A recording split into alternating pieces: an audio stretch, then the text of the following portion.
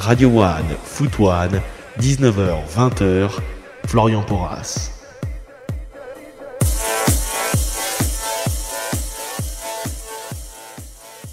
Bienvenue sur Radio One pour cette troisième émission de Foot One, euh, l'émission 100% foot de Radio One. Aujourd'hui, je serai accompagné de Martin. Martin, notre consultant et spécialiste Barclays Premier League. Salut Martin. Salut Florian, salut à tous.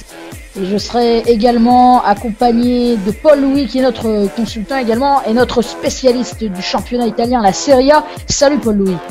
Salut Florian, salut tout le monde. Et je serai également accompagné de Niklas, notre consultant spécialiste Bundesliga. Salut Niklas. Salut tout le monde. Alors au programme aujourd'hui le grand multiplex Ligue 1 qui aura lieu ce soir. Toutes les équipes du championnat vont se rencontrer et Paris, en cas de match nul, sera sacré champion. Ce sera face à Montpellier. Donc on parlera de tout cela. On parlera également de l'Euro 2016 alors que les prix des billets ont été fixés cette semaine. Quelles seront les chances des Bleus? On verra tout cela euh, dans cette émission. On discutera également de Champions League avec la Juve qui a éliminé le Real. Est-ce que c'est une surprise? On parlera aussi de Ligue Europa avec la surprise Dniepro-Petrovsk, sans oublier leur match à ne pas manquer, sans oublier les matchs à ne pas manquer cette fin de week-end. Mais tout de suite, c'est la Ligue 1. La Ligue 1. Voilà, mais juste avant la Ligue 1, on va faire un point sur les matchs de Ligue 2 qui se, se- qui se sont joués hier soir.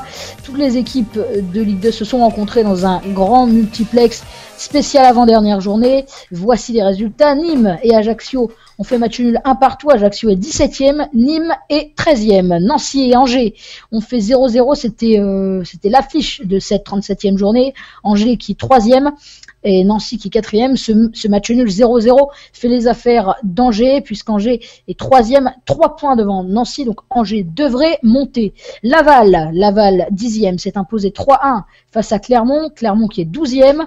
Auxerre et Créteil ont fait match nul de partout. Créteil qui est 14e, Auxerre qui est deuxième, euh, qui est huitième, excusez-moi. Tours et Dijon ont fait match nul 0-0.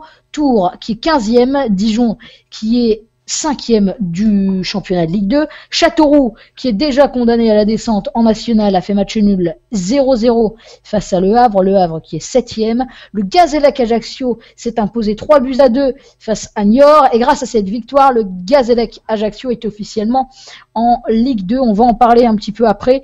Euh, voilà, euh, ils, sont, ils sont officiellement en Ligue 1, pardon. Est-ce que euh, le président de la Ligue va les laisser monter? Ça serait, euh, il, pourrait refaire, un Frédéric Thiriez qui pourrait refaire comme pour l'USNAC. L'USNAC, je le rappelle, l'année dernière n'avait pas pu monter en Ligue 2 à cause d'un stade trop petit. Le Gazélec Ajaccio, qui a également un stade aux capacités limitées, on va, on va voir euh, ce qu'il en sera les, prochains, les prochaines semaines, voire les prochains mois. Arles-Avignon s'est imposé 4 buts à 1 face à Orléans. Arles-Avignon qui est également condamné à la descente en nationale et Orléans qui est 18e, qui pourrait bien descendre également. Le Brest euh, s'est imposé 2 buts à 1 face à 3 et Sochaux et Valenciennes ont fait match nul un partout. Voilà pour les résultats. J'ajoute que le Red Star est officiellement sacré champion de national et donc officiellement en Ligue 2, le Red Star qui s'est imposé hier 4 buts à 3 en national sur le terrain de Fréjus. Un retournement de situation impressionnant puisque le Red Star était mené 3-1 à la 90e minute et s'est imposé 4-3 grâce à 3 buts en 3 minutes dans les arrêts de jeu. On va donc parler un petit peu de, cela. Le Gazélec Ajaccio qui est officiellement en Ligue 1. Est-ce que, messieurs, selon vous, le Gazélec Ajaccio va monter en Ligue 1 Enfin, est-ce que Frédéric Thiriez va les laisser monter euh, Qu'est-ce que vous en pensez? À commencer par Martin. Euh, bah c'est normalement ça devrait passer. Euh, ça devrait passer surtout que bon le stade risque d'être agrandi. Et je pense que si Frédéric Thirier fait preuve d'un petit peu de bon sens voilà il, il, il, il, il- il le fera Ouais, voilà. Bon, faut quand même rappeler que le stade de, de Ouais, du 5000 Gazélec places. Ajaccio n'a que 3200 places. Et euh, actuellement en Ligue 1, le- l'équipe qui a le stade aux capacités les, enfin le, le plus petit stade, il s'agit de Evian Tonon Gaillard qui a un stade quand même de 15 000 places, c'est-à-dire quand même euh, quand même cinq fois plus grand. Donc euh, voilà que seulement 3000 places, c'est vraiment pas beaucoup. Thiriez qui avait refusé euh, la montée en Ligue 2 à l'USNAC. L'USNAC, euh, je vais regarder après combien il y a de place au stade. Qu'est-ce que tu en penses, toi, Paul Louis Est-ce que tu penses que Frédéric Thiriez va laisser monter, euh, monter le Gazélec Ajaccio en Ligue Bah, J'espère qu'il va le laisser monter, parce que bon, faut quand même laisser, euh, la priorité au terrain. Et sur le terrain, Gazellec n'a pas du tout voulu sa montée. Ils ont quand même un bilan de 18, 18 victoires, 11, 11 nuls et 8, et 8 défaites, donc ce qui leur fait 65 points. Ils ont largement mérité euh, de monter en Ligue 1. Après, euh, voilà, faut voir ce qui va se passer euh, l'année prochaine. Donc, euh, si normalement ils passent, alors moi j'ai entendu qu'ils allaient essayer de, comment dire, d'accroître la capacité eh bien de leur stade à 5000 places. Donc le stade Ange Casanova qui passera à 5000 places. Mais bon, moi, je, vu, le passé euh, des équipes qui sont montées comme ça rapidement de, de, de National, Ligue 2, Ligue 1, on pense à Arlavignon euh, qui avait été euh, bah, complètement à la rue pendant toute la saison et qui au final bah, a chuté. Je crois que bah, là, du coup, ils vont descendre encore cette année en National. Donc on voit, on voit ce que ça donne parce que là, c'est des équipes qui vont du coup vont devoir eh bien se calibrer pour la Ligue 1, vont devoir augmenter eh bien les capacités de leur club pour au final sans doute descendre et avoir eh bien pas mal de pertes à, à combler sur les années euh, qui suivent.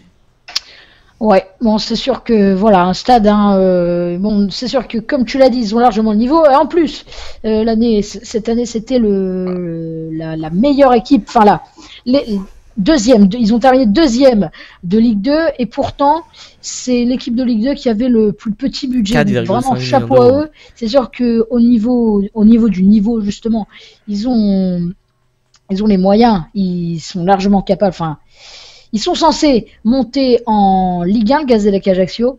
Et euh, bon, on verra, on verra ce qu'il en sera les prochains jours. On va parler à présent, les prochains jours, voire les prochaines semaines, voire les prochains mois. On va parler à présent des 10 matchs de Ligue 1 qui auront lieu ce soir. Quelles seront les équipes qui occuperont les 5 premières places à l'issue de, ce multiplex? Alors, je vais juste rappeler les matchs de ce soir.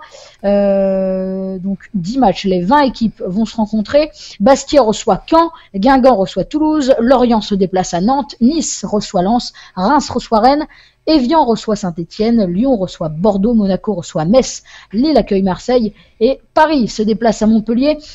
Alors, je rappelle le classement. Paris peut être champion s'il fait match nul ce soir, s'il ne perd pas à Montpellier. Paris sera champion puisqu'il a 6 points d'avance sur Lyon. Il reste deux journées. Lyon a 6 points d'avance sur Monaco. Donc Lyon est également quasiment... euh, Enfin, c'est bon, ils vont terminer deuxième. Les Lyonnais, en plus, ils ont une différence de but par rapport à Monaco de plus 16.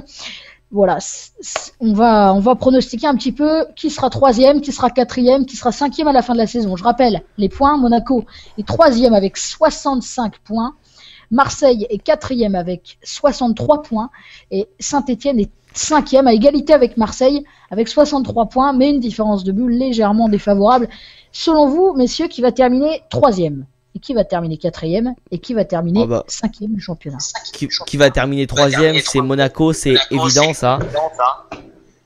Euh, après, ça va jouer entre Marseille et Saint-Etienne. Personnellement, je pense voir plus Marseille quatrième et Saint-Etienne cinquième.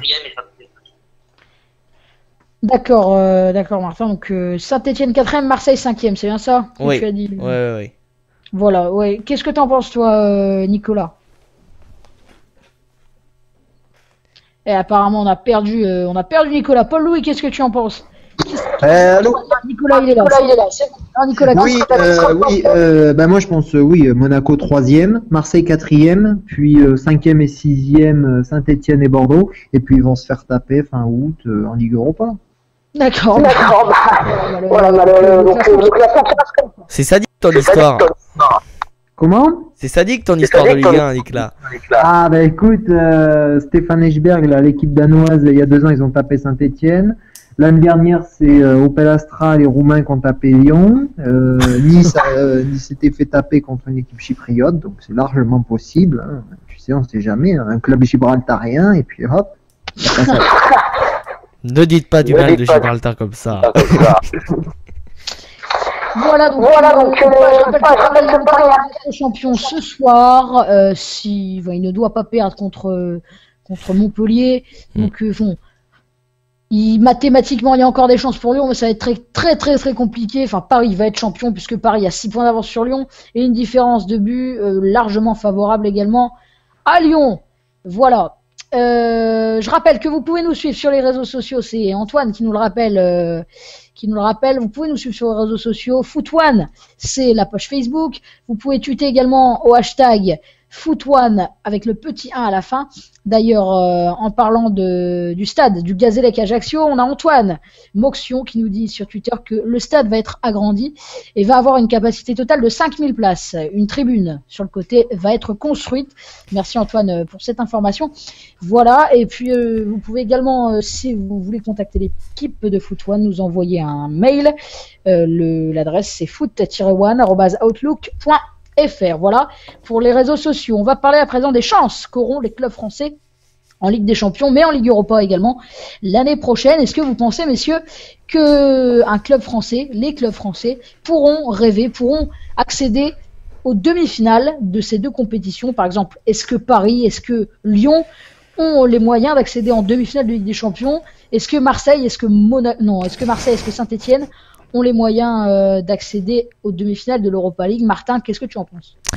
Euh, alors pour le Paris Saint-Germain, euh, peut-être, honnêtement, oui, on peut croire, on peut espérer à, peut-être un miracle pour les demi, même si aujourd'hui on voit qu'on a quand même des équipes européennes qui sont énormissimes. Cela dit, quand on a vu par exemple le match de la Juventus face au Real mercredi soir, on aurait pu espérer voir Monaco parce que euh, il y aurait pu effectivement avoir de la place euh, euh, mercredi soir. C'est euh, que je pense. Ouais, je pense aussi que Monaco aurait pu taper le Real. Ouais, c'est c'est moi aussi c'est c'est mon, mon point de vue. Après Monaco cette année en Ligue des Champions, pourquoi pas? Pourquoi pas encore faire un quart de finale? en revanche pour Lyon là, je pense que franchement ça va être dur.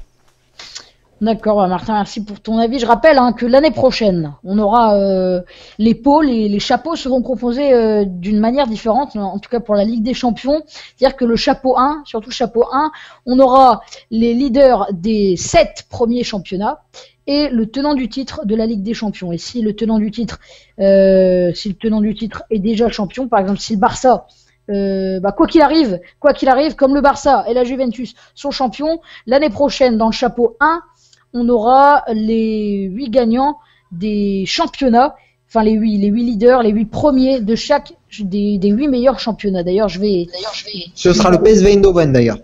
Voilà, aux Pays-Bas exactement. Donc, euh, je vais juste regarder ça ah, très rapidement. Paul-Louis, qu'est-ce que tu en penses, toi euh, Est-ce que tu penses que les clubs français peuvent se peuvent accéder aux demi-finales des, des compétitions, la Ligue des Champions, la C3 bah, écoute, en Ligue des Champions, déjà, ça dépend du tirage. Euh, mais euh, parce qu'on a bien vu cette année que je pense que le PSG avait les moyens d'aller en demi si c'était pas tombé contre le Barça en quart, déjà.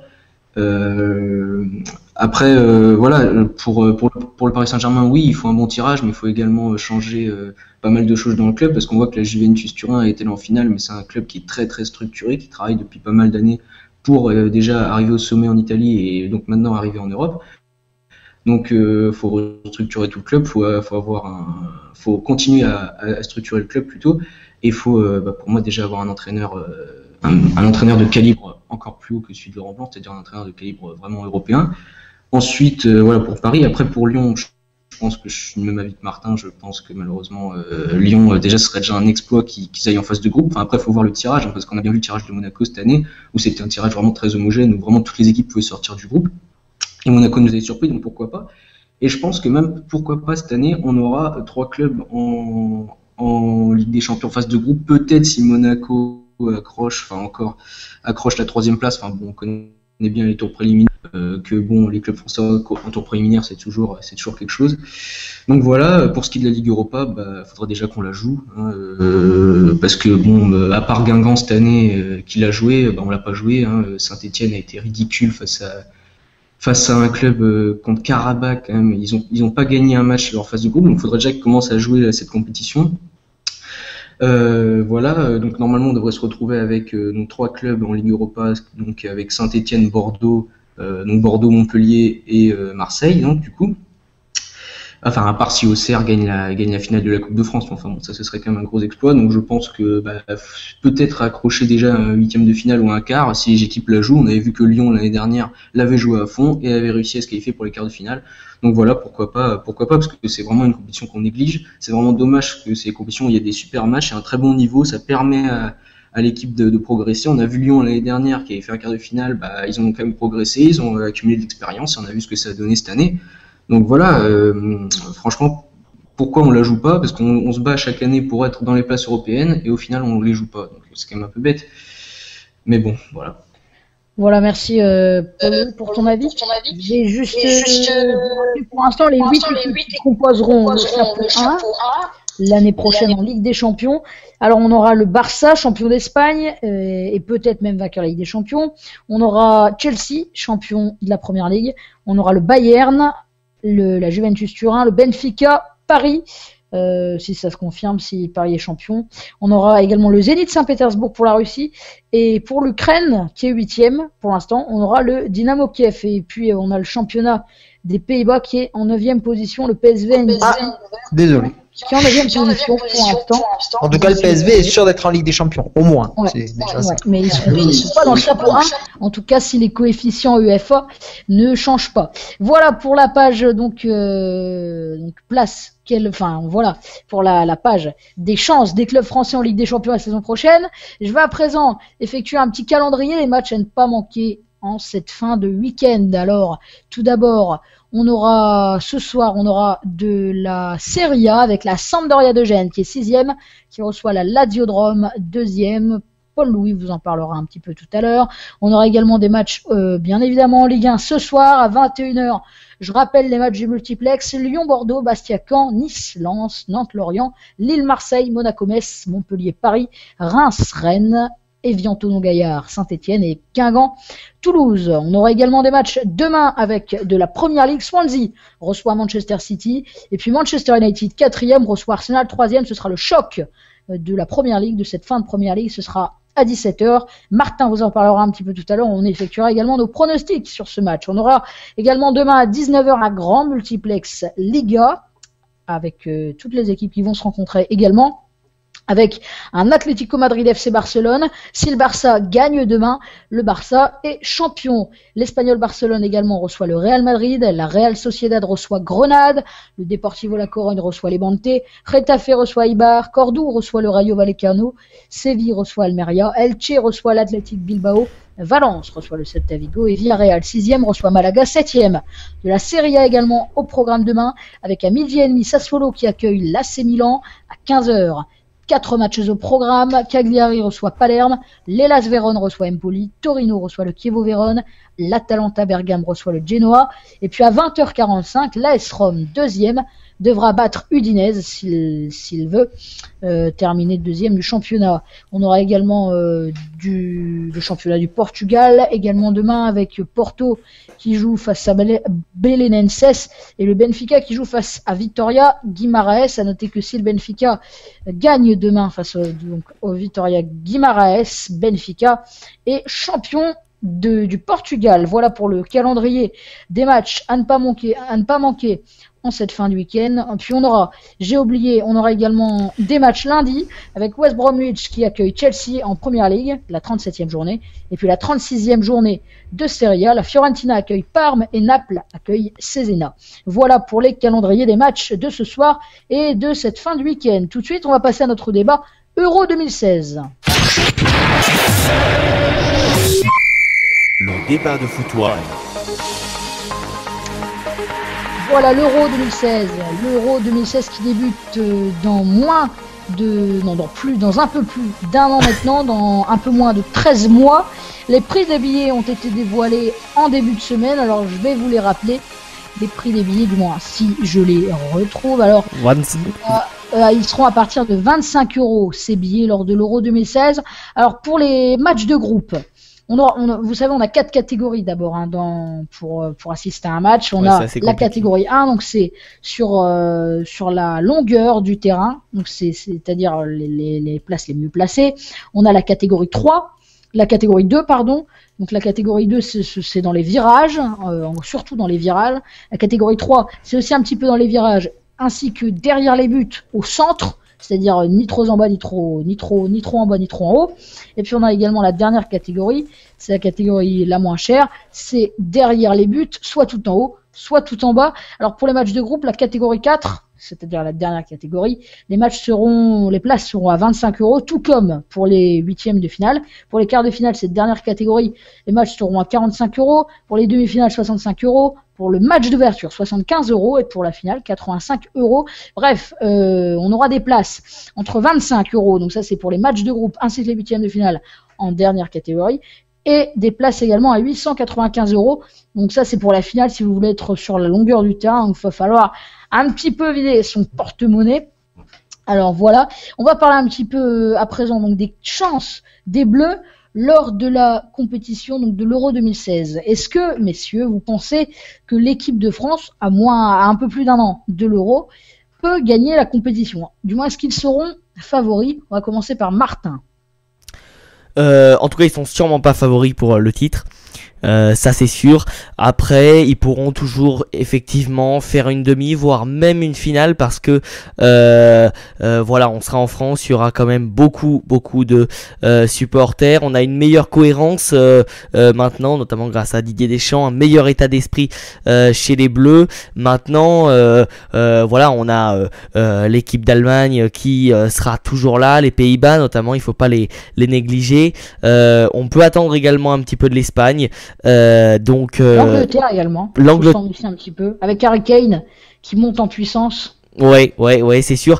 Donc euh, voilà, à mon avis, on aura un bel euro et, et, et je pense que voilà, la, la France est, sûrement pas favorite, loin de là. Et, et, et c'est pas parce qu'on a gagné, euh, euh, je sais plus là, en match de poule, des pays comme la Suisse que on est forcément les meilleurs d'Europe, hein, loin de là. Ouais. Paul Louis, qu'est-ce que t'en penses? Est-ce que la France sera favorite à cette, euh, cet Euro 2016 Euh, Est-ce qu'elle va favorite, gagner l'Euro 2016 Bah, euh, non, je sais pas. Enfin, après, on est, on est vraiment loin de, de la compétition pour pouvoir dire euh, s'ils pourront gagner ou pas. En vue, par exemple, si la compétition se jouait dans un mois, est-ce qu'elle pourrait la gagner? Euh, euh, elle pourra aller loin. Après, la gagner, je sais pas. Euh, oui, bon, elle peut. Après, voilà, ça dé... comme je dis, ça dépend toujours du tirage. Hein, mais euh... Moi, honnêtement, je pense que la France peut gagner l'Euro. ouais, non, mais Déjà, bon, après, parce qu'ils les- sont à domicile, ils seront à domicile.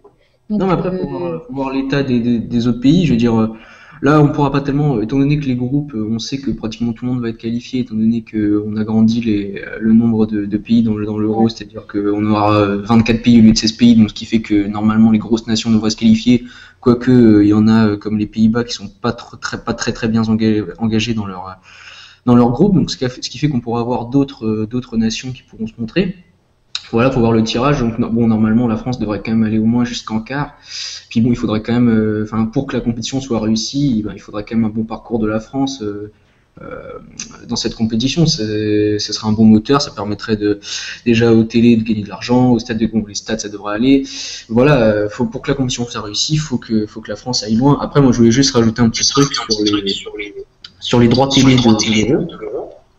Euh, c'est- j'ai vu euh, donc euh, les droits télé allaient être donc euh, répartis entre TF1, M6 et beIN Sport et euh, donc qui fait qu'on aura des matchs qu'on ne verra pas comme à la Coupe du Monde 2014. bah, Beansport d'ailleurs aura Beansport aura 51 matchs, c'est-à-dire tous les matchs de l'Euro, et TF1 aura 11 matchs et M6 11 matchs également. Donc, Voilà, c'est ça. Et donc Ça fait quand même, Comme en euh, si je 2012. compte bien, euh, En, en, en 29 réalité, matchs qui ne seront pas en clair. Ouais. ah, ça, En réalité, je- c'est le même contrat que l'Euro 2012, ouais. Ouais, ouais. Ouais, ça Mais fait moi, je ça quand même beaucoup, étant donné que la compétition elle est quand même chez nous. ouais, ça je trouve. Je ça- pensais quand même qu'il y aurait plus de matchs en clair et finalement, euh, finalement pas Ah, du tout. je, je comprends pas. Enfin, je veux dire, la, la compétition est chez nous. Je comprends même pas qu'on puisse pas l'avoir euh, gratuitement. Quoi. Je, je, c'est quand même. Enfin, je trouve ça bizarre quand même. euh, se rend compte que, la- qu'il y a des qu'il y a des pays comme je sais pas la Belgique, la Suisse, ben ils vont eux ils vont l'avoir gratuitement. Enfin, je trouve ça quand même un peu spécial que les matchs soient aussi diffusés sur des chaînes payantes. Moi, ça me. Bah, en France, c'est particulier parce que, par exemple, quand on voit que il y a 5 ans, on avait encore quand même euh, assez. Enfin, par exemple, pour la Ligue des Champions,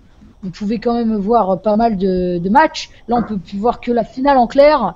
Euh, donc, tandis que dans d'autres pays, par exemple l'Allemagne ou l'Espagne ou Ouais, ou l'Angleterre. Belgique, si je me non la Belgique je sais pas mais en tout cas euh, l'Allemagne Euh, l'Espagne on a, Ouais, non, la on a des Belgique, matchs en clair. je crois. La Belgique, ils ont, ils ont, ils ont presque tout. Enfin, ils ont un match par soir, quoi. C'est-à-dire Enfin, que, ouais, on a, nous on a, on a plus rien. Canal Plus, Beansport et puis. euh, bah, à la Et limite, voilà. voilà, que, Et que oui, mais ça, soient diffusés sur une chaîne payante, ça ne me gêne pas, mais qu'elles soient co-diffusées sur euh, par une chaîne gratuite. Enfin, c'est malheureusement la loi du plus fort et Bein Sport. euh, ouais, bien sûr, non, mais Ah, voilà, mais je trouve ça dommage, quoi, parce que bon. Euh, c'est quand même un euro qui est organisé en France, donc euh, c'est dommage que les gens, euh, parce que je pense qu'il y a pas mal de gens qui suivent pas le foot, qui vont, euh, comme à chaque euro et chaque Coupe du Monde, vont s'intéresser à la compétition. Donc c'est vraiment dommage qu'elle puisse pas suivre bah, tous les matchs. Quoi, voilà. Oui, ça ce 7 euros, ça va par exemple permettre à TF1 et M6 de réaliser euh, leur, méri- leur, leur meilleure audience de l'année. On l'a notamment vu avec la Coupe du Monde l'année dernière. Ouais. Voilà, donc euh, toi, Nicolas, par exemple, que la France, elle peut, elle peut aller loin, là Ben écoute, euh, le minimum pour moi c'est demi-finale. Je vais t'expliquer pourquoi. Simplement que quand tu es, quand tu organises, euh, enfin ça ça reste à confirmer, mais il me semble que quand tu organises une compétition, quel que soit ton ton chapeau, tu es tête de série. Après ça ça à vérifier. Exemple l'Afrique du Sud, est-ce qu'ils étaient tête de série à leur Coupe du Monde?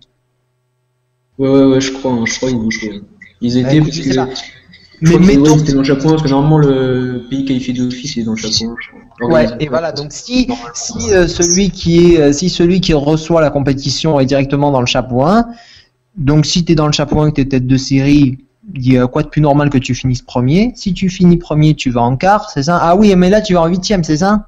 Ou tu vas directement en Ouais, quart ouais, tu vas en huitième, parce que là, du coup, il y a plus d'équipes. Ah ouais, ah non, alors non. Parce que sinon, je me disais, sinon tu vas en quart et en quart, tu, tu rencontres un, Ouais, un que, ouais, deuxième d'un autre groupe et là, normalement, ça doit passer tranquille et tu vas en demi, mais là, c'est plus compliqué, ouais. Donc ouais, ben là, quart. Ouais, là, hein, les huitièmes. ouais. Alors la Ouais. France, hein, j'ai euh, j'ai devant moi, voilà, la France, si elle, euh, elle termine première de son groupe, donc un, deux, deux, deux petites minutes. La France, si elle, voilà, la France, elle termine première de son groupe, elle jouera le troisième du groupe C, du groupe D ou du groupe E. Ce sera un troisième de groupe. Donc a priori, euh, Ouais, ça va. finale, ça devrait passer pour la France. Après, en quart de Ouais, c'est en quart que ça bloquera. en quart de finale, l'équipe de France pourrait jouer, euh, pourrait jouer contre eux. Elle jouera quoi qu'il arrive en quart contre un deuxième de groupe également. Elle jouera contre un deuxième. Ah ouais, ah bah alors, attends, Voilà, attends, c'est ouvert alors. Alors voilà, le huitième de finale de la France, c'est prévu le, le 26 juin. Ce sera à Lyon. Donc si elle termine première à la France, elle jouera contre le troisième d'un groupe, soit le C, soit le D, soit le E. Ensuite, si elle se qualifie, elle jouera contre le gagnant du huitième de finale, qui aura opposé le deuxième du groupe B au deuxième du groupe F. Donc en quart, l'équipe de France rencontrera un deuxième de groupe. Donc Ah voilà. bah ça, ça c'est mitigé, euh, tu vois, ça peut être ouvert comme euh, impossible, tu vois, ça, ça, c'est, ça dépend. c'est un, ça serait voilà les demi-finales. La France en tout cas, si elle termine première son groupe, sera favorite jusqu'en demi-finale. Bien évidemment, elle jouera Ou même en quart, hein, ça un peut premier être groupe. euh, en quart. hein. en quart face à un deuxième normalement.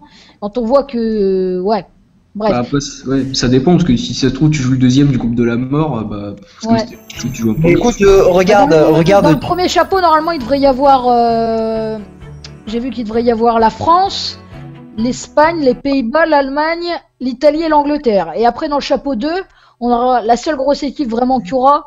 Enfin, grosse équipe, ce sera le Portugal dans le deuxième chapeau. Et puis, euh, pour l'instant, hein, si le tirage au sort des chapeaux a été fait maintenant, c'est ça. c'est Et la par rapport- Belgique et tout, euh, ils ont pas dans le chapeau 2 Non, la Belgique, ils seront dans le chapeau 3 parce qu'ils ont pas. Oh là Ils ont pas- Ils ont pas un fort, euh, un fort coefficient. Donc ils seront dans le chapeau 3. Mais ils sont pas dire que troisième de la mort. France, Dans le groupe de la mort, ça pourrait être, ça pourrait être par exemple France, Portugal, Belgique et, et une quatrième équipe. Mais sinon, on n'aurait pas vraiment.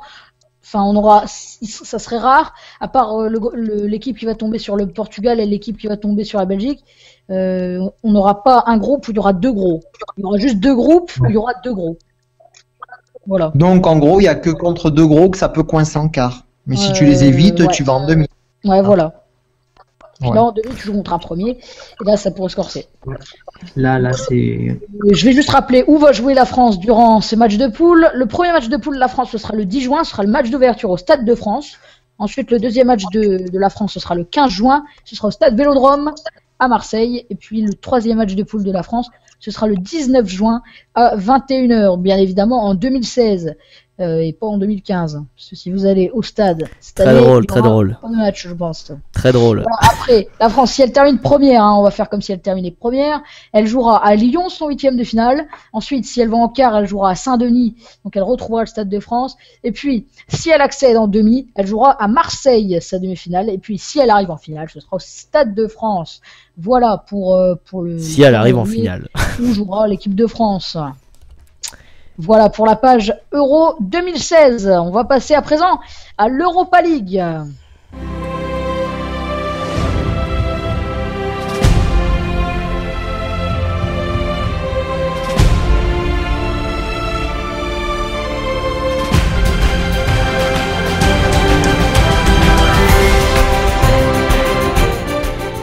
Et juste avant, juste avant la page Europa League, j'ai oublié de rappeler que pour les billets de l'Euro 2016, c'est Antoine d'ailleurs qui nous le rappelle sur l'hashtag Antoine1, que les billets, par exemple, par exemple pour le stade, euh, par exemple si vous voulez aller voir la finale, admettons le stade de France, il y a 80 000 places.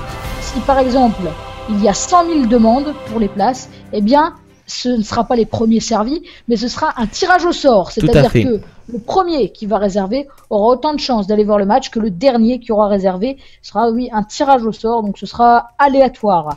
Qu'est-ce que vous pensez de ça, messieurs? C'est quand même bizarre parce que du coup ça, ça favorise en aucun cas euh, ceux qui bon vont réserver les, les billets en premier etc euh, non franchement ce principe là c'est, très moyen je trouve. Euh, euh, voilà on, on survend les billets etc on en fait euh, on, on, on rend cette compétition finalement quelque chose de banal. Euh, non moi je suis pas fan. Euh, moi, je trouve ça bizarre parce que c'est pas très logique. Parce que je sais pas pourquoi ils ont pas fait ça comme un billet normal, c'est-à-dire de.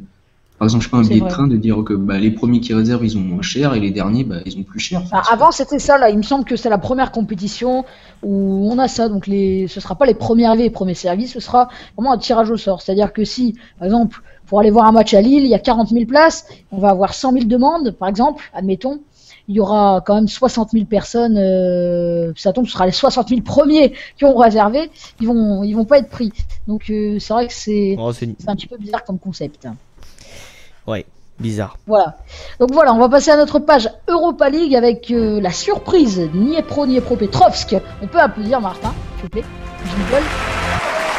bravo bravo Merci. Merci. Merci beaucoup. Voilà, Dnipro, Dnipro Petrovsk qui s'est qualifié pour la finale. Il rencontrera Séville. La finale, ça se jouera à Varsovie. Ce sera le mercredi 27 mai.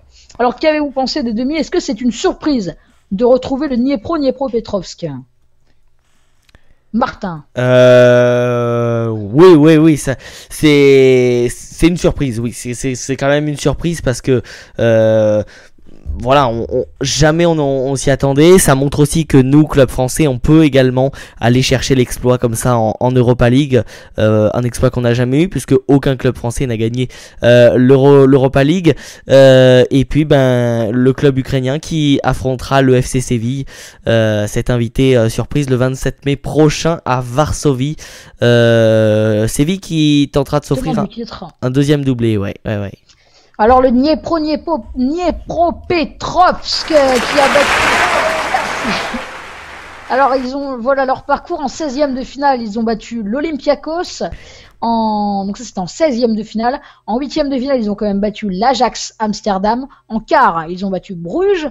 Et en demi donc ils ont battu Naples. Euh, Naples quand même c'est une surprise parce que Naples était quand même largement favori, ils ont battu euh, Wolfsburg 4-1 euh, dans leur stade, Naples et puis avant, ils avaient battu le Dynamo Moscou, Naples. Enfin bref, Naples était largement favori.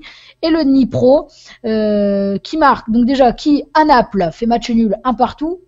Et puis qui à domicile, eh bien le Dnipro s'impose 1-0. Et donc ça leur permet d'accéder à la finale. Une surprise parce que pas beaucoup de gens connaissaient cette équipe avant l'Europa League. Et là, si elle gagne l'Europa League, ils peuvent se qualifier pour la Ligue des Champions l'année prochaine. Parce que pour l'instant, ils ne sont pas qualifiés car ils sont troisième de leur championnat derrière le Shakhtar Donetsk et le Dynamo Kiev. Voilà, Séville sera quand même largement favori. Quels sont vos pronostics, messieurs, pour cette finale? Est-ce que vous pensez que le Nipro va faire l'exploit jusqu'au bout ou va s'arrêter en finale, comme par exemple Quevilly en Coupe de France il y a deux ans? Il s'arrêtera en finale. quel, est, quel score Quel score la finale? Euh, allez, tro- 3-2 Score pour, large ou un score plutôt serré? 3-2 Séville. Ah ouais, donc un score serré quand même. Ouais. Euh, Nicolas, t'en penses quoi? Est-ce que tu penses que Nipro va créer l'exploit et gagner, euh, gagner l'Europa League? Ouah, hmm, ouais, Séville gagnera l'Europa League, oui, oui. Ah, En plus, te- te- tenant du titre, et un petit peu euh, habitué. Mais il y a des bons joueurs, hein, pour Petre. Ouais, excuse-moi, j'ai coupé le son Nicolas sans faire exprès. C'est pas grave. Bon, Paul Louis. Voilà, Nicolas, qu'est-ce que tu, qu'est-ce que tu voulais dire, Nicolas? Excuse-moi. Ouais, je veux dire qu'il y avait des bons joueurs. Hein. Tu te souviens qu'à l'époque, il y avait Konobianka, il y avait Chatov. Là, je regarde la liste un peu. C'est, il y a des joueurs qu'on connaît, hein, qui étaient notamment de- du barrage contre l'Ukraine. Il y a Zozulia aussi. quoi. Ouais, oui, voilà, aussi. Marqué, je m'en souviens, c'est- c'est comme ça que j'ai connu hier ce club. tu vois. Bah moi, euh, enfin honnêtement, quand je les ai vus dans le groupe de Saint-Etienne en début de compétition, je me suis dit qu'est-ce que c'est que cette équipe? Je, avec un nom super long, Saint-Etienne c'est bon, ils vont y aller deuxième. Et là le Dnipro en finale, bon d'accord. Voilà donc euh, vraiment belle surprise Alors- de cette, enfin, cette équipe. Ouais, vraiment belle surprise. Alors que normalement, ça aurait dû être Karabag euh, qui aurait dû aller dans le groupe de. qui aurait dû aller en 16e de finale, puisque il me semble qu'à la fin, il y a un but refusé pour Karabag. Et euh, donc Karabag Ouais. doit gagner face à l'Inter, et euh, finalement, le but est refusé. Comme quoi ça peut, enfin une compétition. Ouais. euh, on peut perdre, enfin on peut, on peut perdre en gros contre Karabag et après aller, aller jusqu'en finale. C'est comme pour la Juventus qui avait perdu contre l'Olympiakos en poule de Champions League. D'ailleurs, on va passer à notre page Champions League.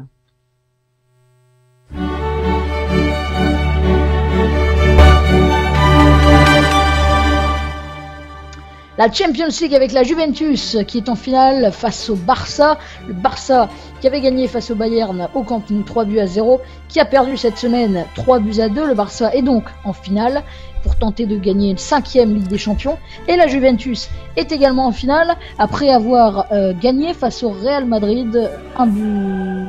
Ils avaient gagné 2 buts à 1 chez eux et ils ont fait match nul un partout à Bernabeu. Alors qui va gagner cette finale messieurs? Oh, Barcelone. Barcelone, euh, sans. Je pense aussi, je pense aussi que ce sera le Barça. Mon avis. largement favori. Oui, largement. Même pas un match serré. à mon a- La finale sera pas très belle, à mon avis. Ouais, enfin la, la vraie finale c'était un petit peu Barça Bayern. pour Oui, surtout le match, allez. Ouais. Niklas, Barça Juventus, qui va gagner? Euh, ouais, Barça Juventus, oh, ce sera le Barça, oui, oui, bien sûr. Ouais, Évidemment, Barça.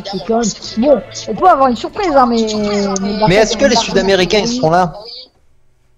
Ouais, le Barça qui est, qui est largement, largement favori de cette finale, avec Oui. son trio Messi, Neymar, Suarez, qui vole vraiment tout, vraiment en forme.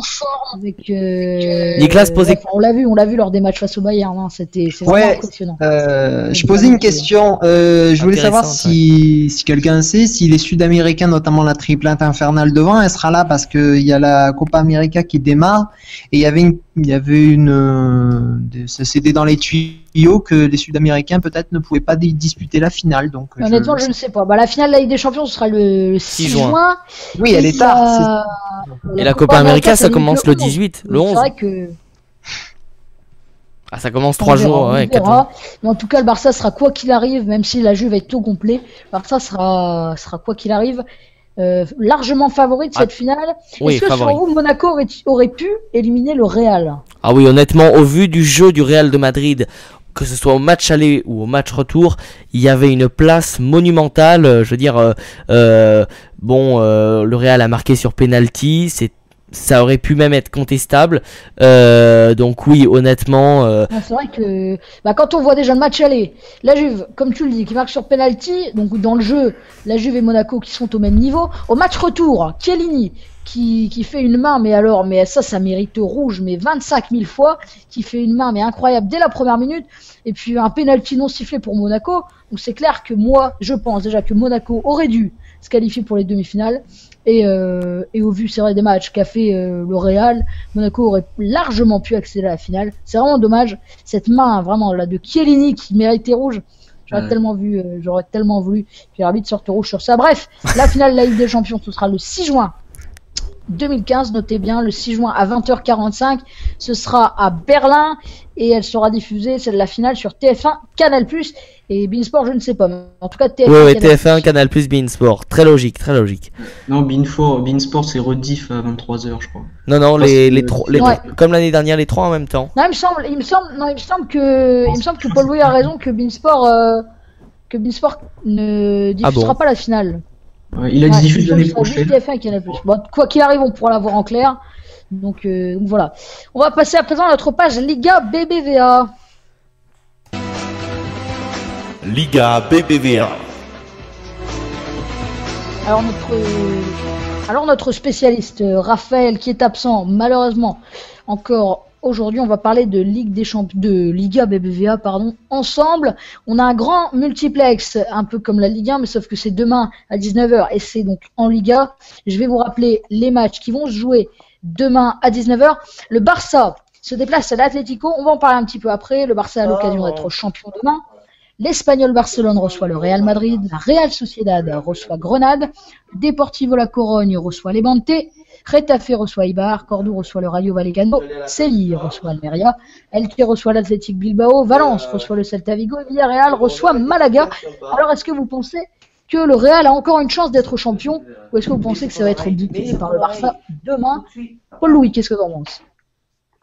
Non, je pense que malheureusement pour Il le a Real. fait essayer. euh, Oui, non, je pense que malheureusement pour le Real, euh, euh, bah, je pense que déjà le Barça a 4 points d'avance, donc 4 points d'avance euh, rattraper en deux matchs, c'est pas facile, enfin c'est même pratiquement impossible. Euh, vu le niveau de jeu déployé par le Barça, que ce soit en championnat ou en Ligue des Champions, déjà il mérite largement d'être champion. Euh, mais je pense qu'ils sont injouables cette année, le, le Barça. Donc euh, non, moi je pense que le Real ne sera pas champion cette année. C'est dommage euh, pour cette équipe. Je suis entièrement Mais- d'accord avec toi. ouais. mais euh, mais euh, on pourrait d'ailleurs voir euh, bien pour- pourquoi pas d'après ce que j'ai d'après ce que j'ai entendu ben, pour que Carlo Ancelotti pourrait quitter le club madrilène Euh, alors bon c'est quand même bizarre parce que c'est quand même lui qui a apporté la dixième mais bon une institution comme le Real euh, peut se permettre de, de virer euh, n'importe qui étant donné l'importance de ce club même si bon je trouve ça un petit peu bizarre de virer Ancelotti dès, dès maintenant et on entendrait que ce serait peut-être Zinedine Zidane qui pourrait prendre en main Mm. euh, le club Bon, j'ai du mal à y croire parce que Zinedine Zidane, euh, d'accord, c'est évidemment une figure, une icône au Real, mais il a quand même aucune en- expérience en tant qu'entraîneur. C'est vrai. Euh, prendre je- d'un coup, c'est vrai que ça fait un petit peu, un petit peu haut. bah, c'est ouais, je trouve ça un petit peu trop, trop tôt et trop haut, comme tu dis. Euh, pour lui, euh, pourquoi pas prendre une équipe, je sais pas, de milieu de tableau de, de, de Liga pour essayer déjà de. Bon, là, il a pris la réserve de, du Real, mais enfin bon, c'est quand même en troisième division, donc c'est pas, c'est quand même pas le haut niveau. Pourquoi pas prendre une équipe de, milieu de tableau de, de Liga pour, euh, pour déjà, bah, pour, euh, pour se tester. C'est ce qu'avait fait Luis Enrique et voilà. Et on a vu ce qui s'est donné avec le Barça. C'est quand même, voilà. Ouais, comme nous dit Ah, Antoine, Antoine sur. Twitter qui nous dit, euh, qui nous dit sans hésitation, le Barça c'est la meilleure équipe du, du monde en ce moment, sans hésiter. Ils, déjà, ils vont gagner la finale de la Ligue des Champions et ils vont gagner le titre. Ils sont juste énormes, nous dit Antoine sur Twitter. Je rappelle le hashtag FootOne1. Voilà, donc euh, le Barça qui doit gagner demain, qui s'il veut être champion dès demain, donc il faudra gagner à Vicente Calderon face à l'Atlético qui est troisième. Et l'Atlético en cas de défaite demain peut voir revenir Valence à un point. Donc pourquoi pas relancer la course à la troisième place pour Valence? Pourquoi pas Valence choper, enfin chipper la troisième place à l'Atlético euh, Ce sera lors de la dernière journée. Et puis euh, le Barça donc après ce match, quoi qu'il arrive, même si le Barça perd ce match, euh, ils auront et que le Real gagne, ils auront toujours un point d'avance le Barça. Et il leur restera à jouer à la maison le Deportivo La Corogne 16e. Donc quoi qu'il arrive, le Barça sera champion d'Espagne. Voilà, le Barça sera champion. Deuxième, le Real, je pense. Troisième, quand même, l'Atlético. Quatrième, Valence. Et puis après, cinquième, on a Séville. Et puis, euh, donc, si Séville gagne l'Europa League, d'ailleurs, on pourrait avoir cinq clubs espagnols en Ligue des Champions l'année prochaine, ce qui n'est jamais arrivé pour un pays. Parce que déjà, les trois premiers, c'est-à-dire Barça, Real, Atlético, seront qualifiés directement pour euh, la Ligue des Champions. Donc, cinq clubs en Ligue des Champions l'année prochaine. Barça, Real, Atlético qualifiés directement. Valence devrait passer les barrages et puis euh, donc de, la, de la Champions League.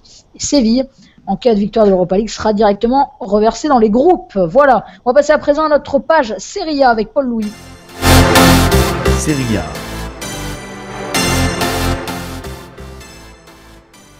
À toi, Paul Louis.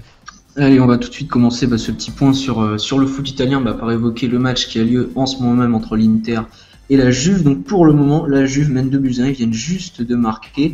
Donc c'est l'Inter qui avait ouvert le score par euh, Icardi à la 9 minute. Euh, ensuite, la Juve avait égalisé juste avant la mi-temps à la 42e par un penalty de Claudio Marchisio. Et c'est Alvaro Morata qui a marqué le deuxième but pour, le, pour la Juve à la 83e minute. Donc la Juve bah, qui est déjà champion d'Italie et donc, euh, comme on l'a dit tout à l'heure, qui est tout nouveau finaliste de la Ligue des Champions, qui devait donc, se déplacer face à l'Inter.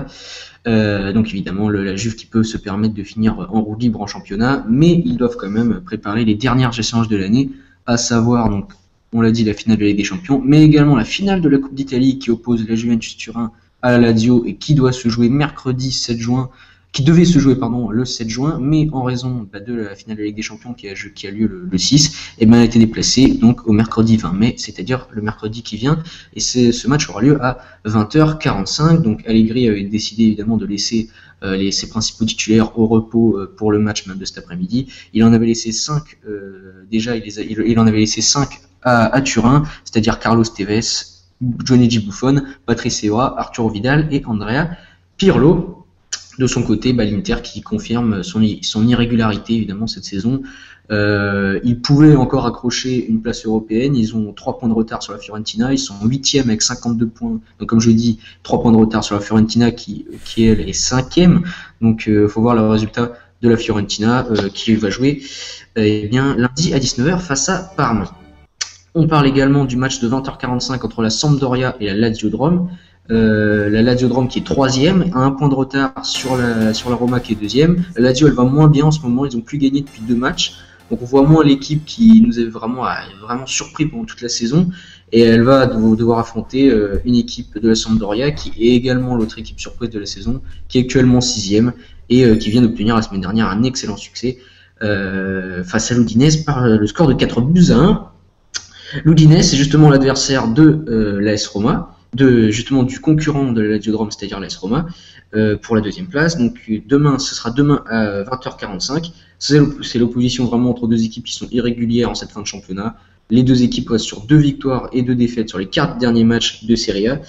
Euh, la Roma, donc qui est deuxième avec un petit point d'avance sur la Lazio, vise la place de dauphin de la Juve, qui permettrait au club de la capitale donc d'être directement qualifié en phase de groupe de la Ligue des Champions. Donc on attend vraiment une réaction des joueurs romains après leur défaite euh, à San Siro la semaine dernière. Euh, ils avaient perdu sur le score, par le score de 2 buts à 1. Dans les autres matchs de la 36e journée de Serie A, on pourrait également voir lundi soir la Fiorentina qui reçoit Parme. Euh, et à 21h Naples qui reçoit Cesena. Donc pour le Napoli qui est quatrième, il faut euh, désormais assurer la place en Ligue des Champions, en euh, Ligue Europa pardon, et pourquoi pas viser une place pour la Ligue des Champions, la troisième place en l'occurrence. Mais bon, ils ont trois points de retard sur la Roma, donc c'est pas encore fait, même s'ils reçoivent ce week-end un club relégué en l'occurrence Cesena. Donc pour les autres matchs de la journée, demain midi et demi Sassuolo AC Milan, 15h Elas Verona Empoli, Cagliari Palerme, Torino Chievo, Vérone et Atalanta Genoa. Et c'est tout. Et euh, pour ce qui est. Donc j'ai quelques rumeurs de transfert. Euh, une rumeur de transfert autour de Felipe Anderson. Donc si vous connaissez pas Felipe Anderson, c'est un milieu de terrain qui joue à la Ladiodrome, qui a marqué 10 buts en 8 et 8 passes décisives cette saison. Donc c'est pas mal du tout. Donc c'est une info qui a été relayée, relayée par euh, Mercato365.fr. Donc il serait courtisé par plusieurs écuries étrangères, dont le Paris Saint-Germain. Mais il a un compte, mais le milieu donc qui, est, qui était auparavant à Santos et qui a joué pour les espoirs brésiliens euh, eh bien un contrat qui court jusqu'en 2020, donc ce qui freine évidemment les possibles investisseurs. Voilà juste euh, un petit mot sur Lucadine qui pourrait aller à la S-ROM. Donc c'est une info sport.fr. Donc c'est euh, donc bon, faut prendre avec des pincettes. Hein, c'est vraiment aucune rumeur euh, que le, défenseur gauche parisien qui aurait été contacté par Walter Sabatini, le directeur sportif de la S-ROM, euh, pour pourquoi pas, eh bien, euh, il, donc le défenseur euh, Lucadine qui pourrait donc rejoindre la en fin de saison, étant donné qu'il ne joue vraiment pas beaucoup en Ligue 1 avec le PSG. Juste, je finis avec un petit mot de série B. Tout ça pour vous dire que c'est le club de Carpi qui monte en Serie A la saison euh, prochaine. Euh, donc c'est une montée qui avait déjà été officialisée il y a deux semaines. Donc si vous connaissez pas Carpi, il y a eu un reportage dans l'équipe du dimanche qui était pas mal fait. Je sais pas si vous l'avez vu. Excellent. Euh, donc c'est une ville à peu près de 65 000 habitants qui est près de Modène. Et euh, ce club de Carpi qui pourrait être rejoint par le club de Frosinone Calcio. Donc c'est une ville à 70 km de Rome. Euh, donc vraiment des clubs euh, qu'on n'a pas l'habitude de voir en Serie A. Et le troisième club euh, restant, eh bien, on verra à l'issue des barrages de promotion. C'est comme, en Angleterre, c'est-à-dire de 3 à 6, c'est un des barrages pour déterminer le dernier qui va se qualifier. Donc on aura évidemment le temps de suivre ça dans une prochaine édition de Foot Merci Paul-Louis. On va passer à présent à la Bundesliga avec Niklas, notre spécialiste du championnat allemand. Bundesliga.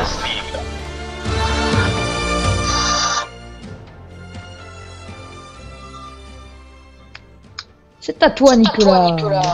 Eh ben écoute, euh, ben, écoute, euh, ben, ce week-end déjà. Euh, alors tous les matchs ont déjà été joués là. Ce week-end, euh, il y avait que des matchs. Il y a le grand multiplex, un peu comme la Ligue 1 ce soir. C'était à 15h30. Alors il y avait des batailles euh, presque de partout. Bon, on connaissait les quatre premiers. Euh, les quatre, euh, mais il fallait déterminer de qui euh, fera les barrages et surtout est-ce que le mythique euh, club du Borussia Mönchengladbach irait directement en Ligue des Champions. Effectivement, ils ont gagné 2-0 à Brême euh, cet après-midi. Donc ils iront directement en Ligue des Champions. Donc ça, ça, ça fait 37 ans qu'ils n'y ont plus été. Ils ont fait finale de Ligue des Champions en 1977 et ils ont eu, euh, ils ont eu la, ils ont eu normal, si je me souviens bien, six champions du monde en 1974. Il y avait Bertie Vox, euh, Bonoff et Bertie Vox, Bonoff. euh, je, je sais plus qu'il y avait encore Netzer et tout ça. Bon. Et il y avait le Ballon d'Or aussi, euh, qui a eu le Ballon d'Or en 1977, euh, l'attaquant euh, danois, là, Alan Simonsen. Voilà, le Borussia Mönchengladbach revient en Ligue des Champions, mais il n'y avait pas que du suspense ici, il y avait du suspense aussi pour l'Europa League.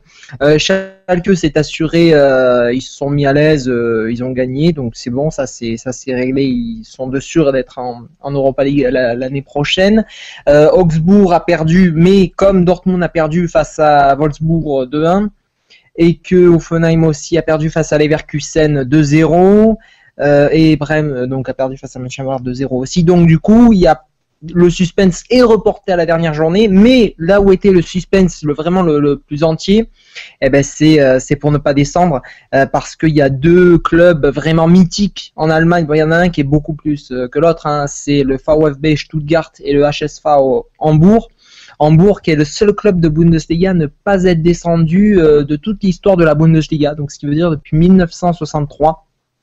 Euh, et euh, euh, il jouait contre le dernier, donc contre le contre le dernier de la Bundesliga, qui est le VfB Stuttgart, qui lui aussi est un club mythique, a notamment gagné le championnat d'Allemagne en 2007. Et euh, Stuttgart a gagné 2-1, c'était chez lui. Euh, Stuttgart a gagné 2-1, donc du coup Hambourg est relégable.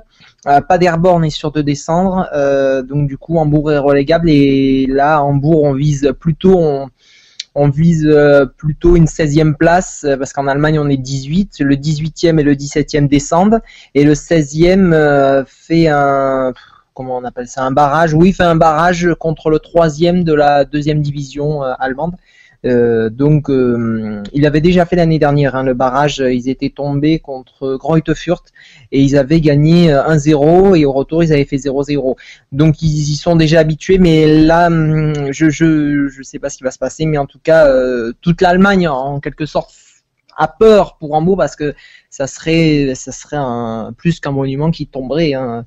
Euh, voilà, voilà pour les. hum, Il n'y a pas que, il y a pas que. Attention, hein, c'est, ce n'est pas soit Hambourg, soit Stuttgart, parce que Hanovre, non, Hanovre est sauvé, mais il y a, il y a d'autres équipes euh, qui sont aussi euh, potentiellement, qui peuvent potentiellement euh, descendre. euh. Voilà les, les- les enjeux donc de la dernière journée, euh, se sauver et l'Europa League. Merci euh, pour cette page Bundesliga. On va à présent passer au championnat anglais avec Martin, la Barclays Premier League. Si ça veut bien se lancer pour la jingle. Barclays Premier League.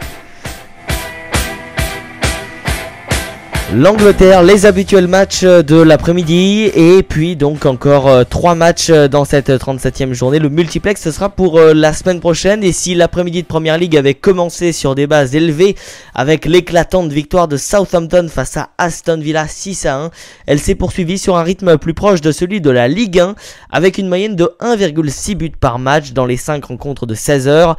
À la mi-temps, un seul but avait même été marqué mais pas n'importe lequel. Le premier d'Emmanuel Rivière en Première Ligue après plus de 18 heures de jeu, touché à la tête après un choc avec Joy Barton. Le gardien de Newcastle, Robert Green, a dû sortir quelques minutes plus tard et son remplaçant Tim Krul a encaissé deux buts de Phillips et faire à la 54e et la 61e en seconde période. Les Magpies se sont donc inclinés, inclinés 2 buts à 1 euh, et donc devront se battre jusqu'à la dernière journée de championnat et la réception de West Ham afin de se maintenir. Hull City, lui, fait l'autre très mauvaise opération de la journée après sa défaite à Tottenham 2-0, but de Chaldy et Rose, euh, et devra gagner contre Manchester United le week-end prochain pour espérer se maintenir.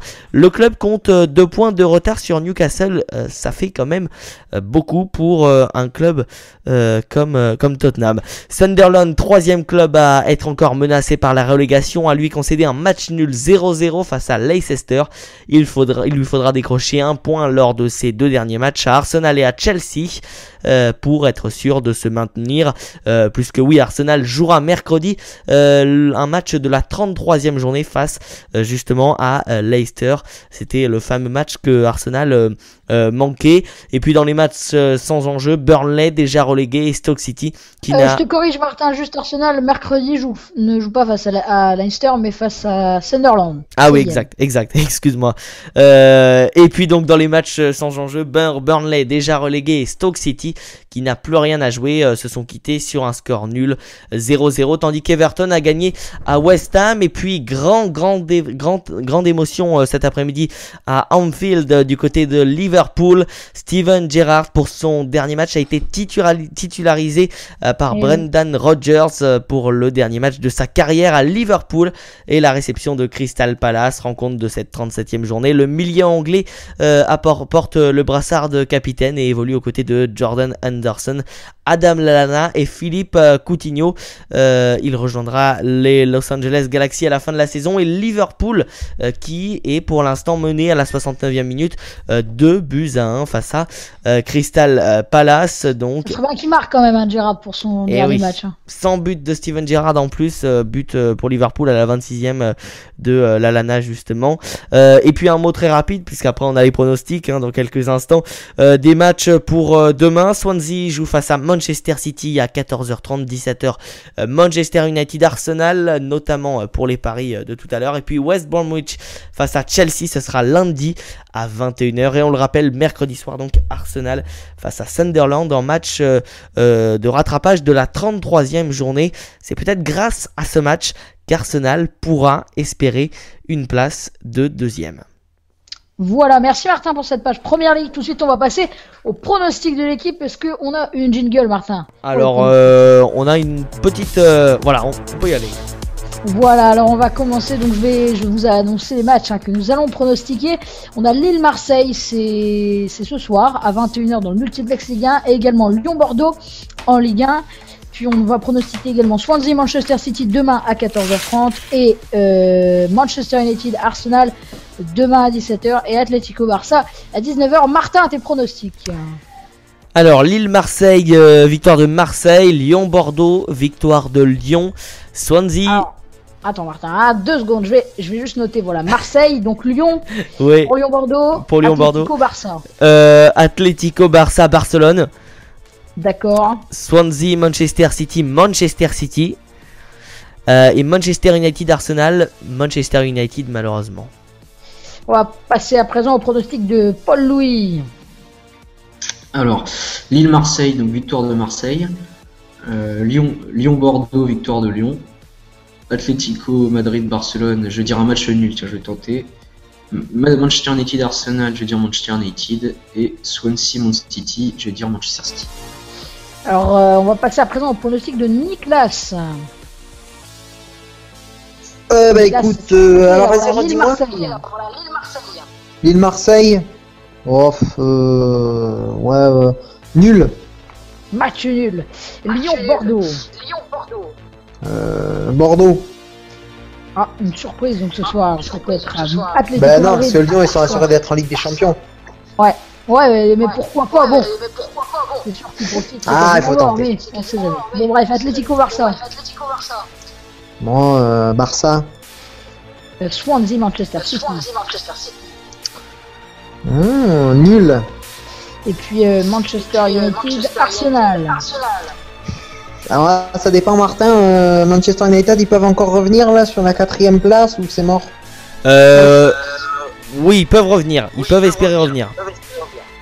Ah, il leur Manchester manque Mais ça va Points. être dur. hein. Manchester United là qui est quatrième à deux points d'Arsenal mais qui a un match en moins. Donc, euh, Mais ça va quand même Ah être oui, oui, compliqué. oui, alors oui, ils sont quatrième à Manchester. Ouais, euh, ouais. à deux points d'Arsenal euh, et, et, et- et un peu plus de, de City. Ah ouais, alors moi je dis ouais, ouais, alors Manchester United, ouais, bien sûr. Oui, oui, oui. Voilà donc pour, euh, pour ces pronostics Nicolas. Donc quant à moi, Lyon Marseille, je vois match nul. Lyon Bordeaux, la victoire du Lyon. Atlético Barça, la victoire du Barça. Candy Manchester City, la Lyon, un match nul. Et puis Manchester United Arsenal, Manchester United. Voilà pour nos pronostics. C'était la troisième émission de Foot One. Merci à vous de l'avoir suivi. On se retrouve la semaine prochaine pour une nouvelle émission de Foot One, l'émission 100% foot de Radio One. Bonne soirée à tous. Salut, salut. Salut. 20h, Foot One, Florian Porin.